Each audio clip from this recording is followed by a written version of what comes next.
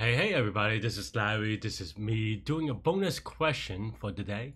Uh, let's see if I could. Maybe today I, will just do a medium one. I'm a little bit tired anyway. I was, I've been, you know, trying to not do a easy one, but yeah. Uh, hit the like button, the subscribe button, join me on Discord. Let me know what you think about today's bonus question. Um, and if you're new to the channel, then uh, I I do the daily problems on another video. You can probably just find it. Uh, but beyond that, because I usually already solved it, um, I'm trying to do an, an extra problem a day just to kind of, you know, do a problem that I haven't done, or, you know, attempt the problem that I haven't done before, just so for completion sake, I guess. I don't know. Um, but yeah, uh, so yeah, come join me. And today's problem is I choose this by RNG. I let, you know, try to figure out if there's a problem I haven't done yet. Well, I mean, there are problems I haven't done yet, but some of them are premium. So, hmm. anyway, today's problem is 306, addictive number additive number. Whoops. Addictive? Additive. Yeah, additive number. Additive number is a string whose digits can form an additive sequence. What does that mean? A valid additive sequence should contain at least three numbers, except for the first two numbers. Each subsequent number in the sequence must be the sum of the preceding two.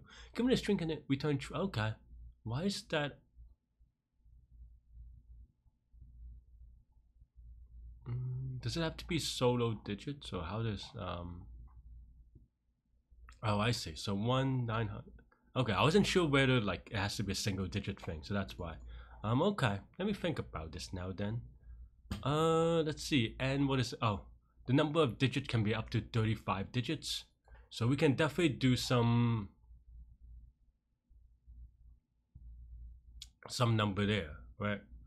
So, um, how do I think about it? And I think the the idea that I would think about is just that you can only kick off the problem in a certain number of ways, meaning that once you have the first two numbers, then the entire sequence determines itself, right? So, and from that, I think you can brute force the first two numbers. I think that's my idea. That's kind of uh, one thing I would say that is, hmm, I guess maybe not. Uh, mm, I was gonna say that that's a little bit annoying to do in non non um, in non Python because of like big nums and stuff like this. But maybe that's not, that bad. Maybe that's why they kept it for five digits though. But um, but yeah. So I think we can just you know uh brute force on that and then we'll just try. So uh yeah, let's see.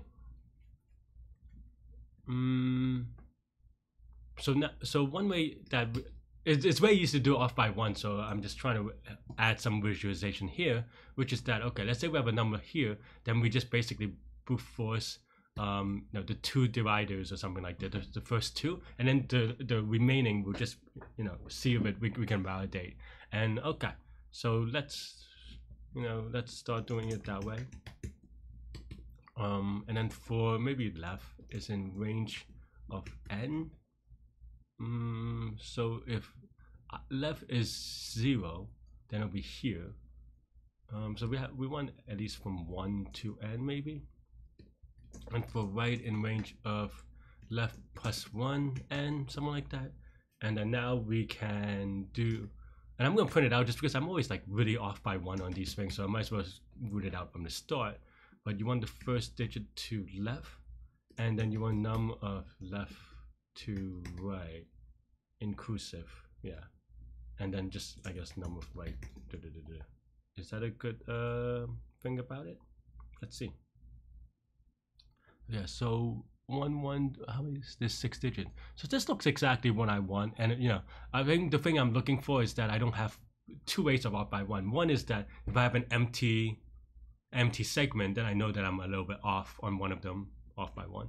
And the other one is if um, if I'm missing certain things, I think in that's what I would be. But it seems like this is pretty good. And also here, if there's six, uh, let's see, yeah, if there's six numbers, that means that there's five slots in between, if you want to call it that. And it's five choose two, and five choose two is what's five choose two?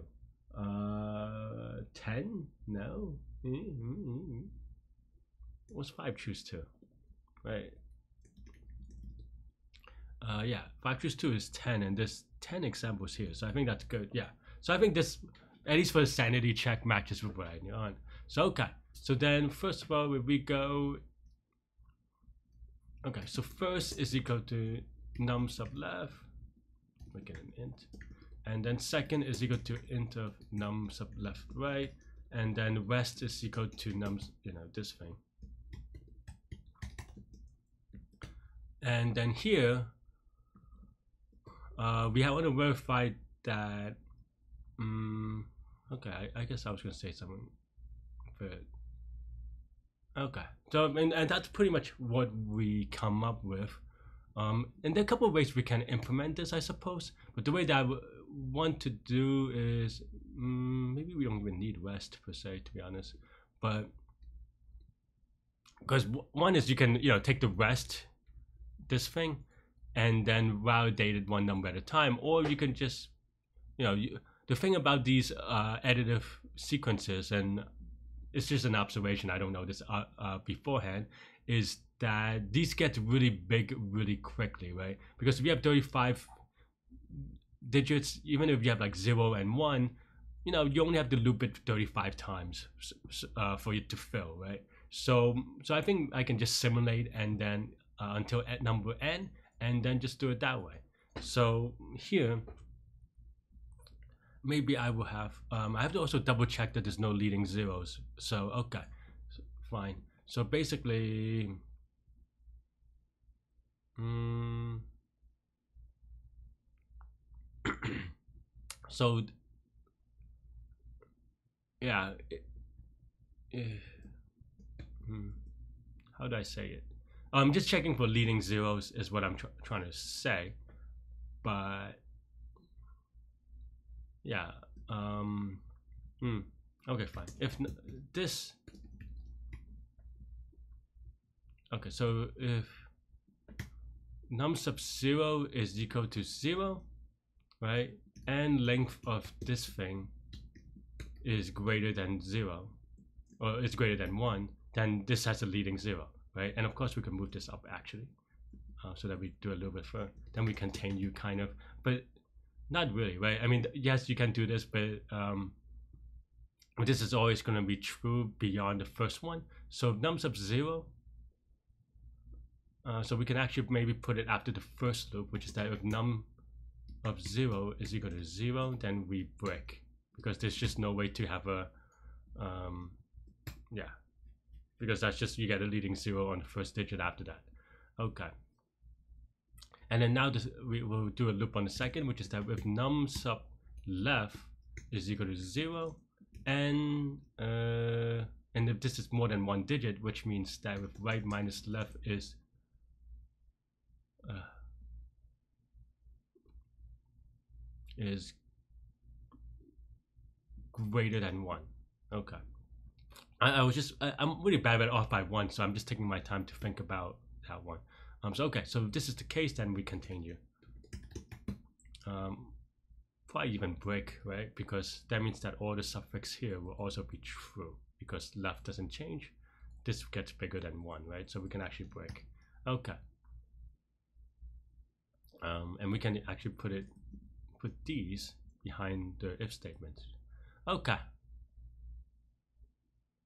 Um, yeah, and then now we can just simulate, right? So we have, uh, maybe I could call it P for po possibility.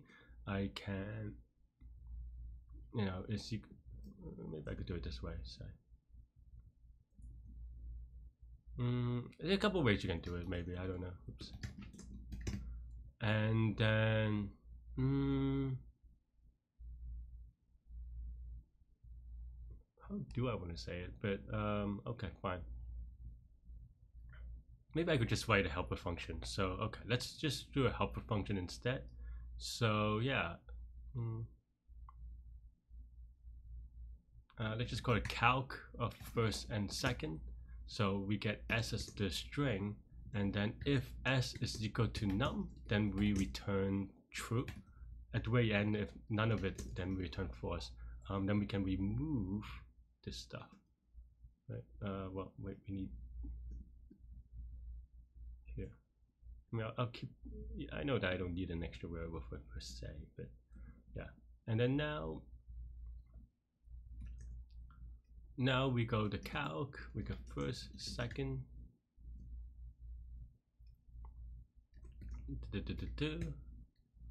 Um.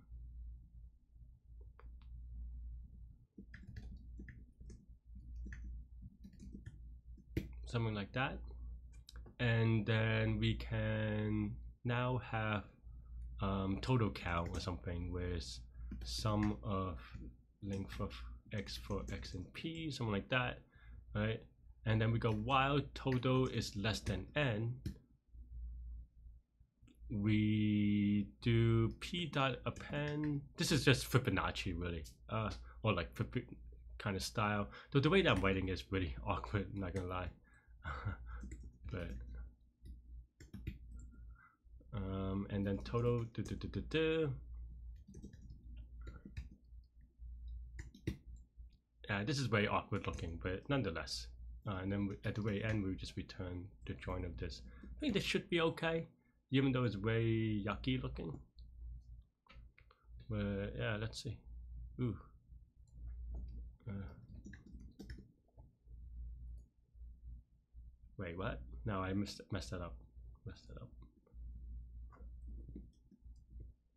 There you go. Maybe. I have to convert that to a list. Fine. Oh no. Uh,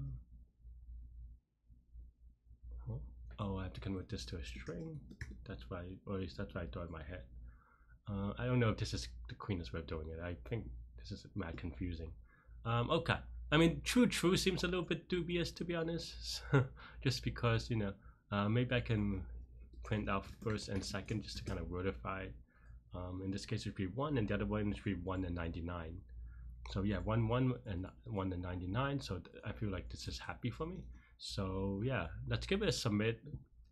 I think the, the thing with true false output is that it's very easy to be uh, incorrect just because, you know, and I'm not really being exhaustive on it to be honest. Uh, I am a little bit lazier today, but yeah, it looks okay. So yeah, um, definitely so what's the complexity here, right? So this is n squared, where n is 35 at most, the number of uh, the length of the digits.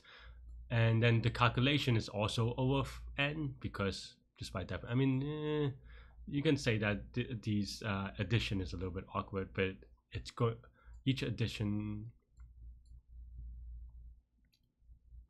but yeah, eh, I guess this is maybe n squared, depending on how you want to say it because you're building up to n and it takes uh, n n loop to add n and stuff like that. Uh, but you know, but the length of the string, it takes length of the string to add.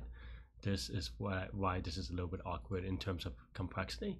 Um, but it's a way fast and to the fourth, I suppose. Hmm. And you can definitely do this in a slicker way for sure. Um, because for example another way you can think about doing it um, i don't know because when you when when you talk about the complexity of a length um, and like adding two numbers and stuff like that it definitely gets very complicated very quickly because you can also just do this or an or in int and and then technically you know maybe it's faster in terms of number of bytes but then that assumes fixed with integers which we don't really have here per se at least not if you scale n to to infinity right? Because you know here we assume that we have it but we don't per se. Um yeah i mean i think that's all i have for today. Let me know what you think uh and let me know how you approach this problem and yeah that's all i have. Stay good stay healthy to mental health. I'll see you tomorrow see you later and we'll do another one. Uh take care and bye bye